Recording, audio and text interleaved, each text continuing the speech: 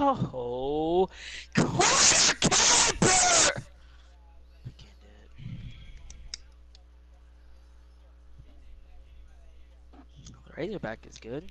It's like that shit's like an AR, dude.